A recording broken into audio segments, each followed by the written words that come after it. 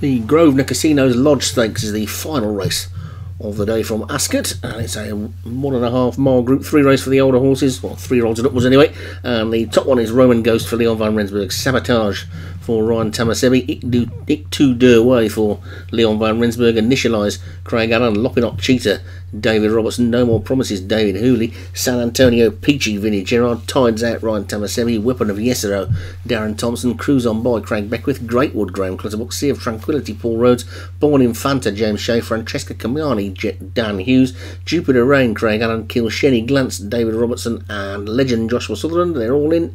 And they're all out the final time today at Ascot. And who's going to be the first one to show this mile and a half race?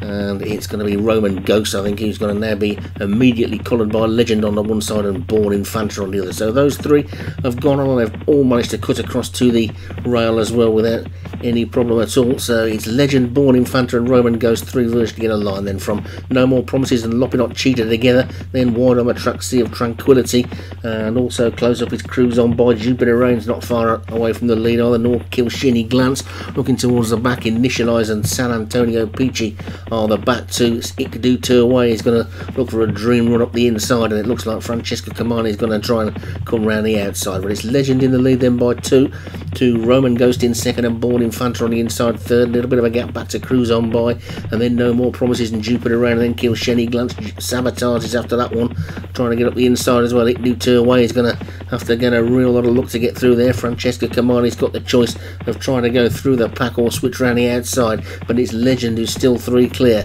of Roman Ghost in second and Born Infanta third. Then comes No More Promises and Cruise on by with Kilshenny Glance now coming through to make a run. Also got a clear run on the outside. Sea of Tranquility. Sabotage looking for room. Sea of Tranquility and the tides out as well. Lopinot Cheetah in the centre of the track. Francesca Cumani's got a wall of horses between her. Weapon of Yesero's now switched to the right. He's going to try and get through there. Another one to block off. do two away, but into the final five they go. And now tides out and Sabotage have come out of the pack and they've brought Lopinot Cheetah with them, but they've still got to get to Legend. Legend is still two and a half lengths clear of Tides Out, Sabotage, Jupiter Rain, Born Infanta's trying to battle back, Roman Ghost trying to hang on in there as well. Also trying to run through now is Kilshenny, Glance, Cruise on by Sea of Tranquility, wide on the track, no more promises, is going to need a lot of luck to get through there on the inside. Legend passes the three furlong pole with a two length lead from Born Infanta. Then Jupiter Rain is now flying up the centre of the track and is coming through to challenge for the lead. It's Legend in front from Jupiter Rain, Tides Out, Sabotage, Weapon of Yesero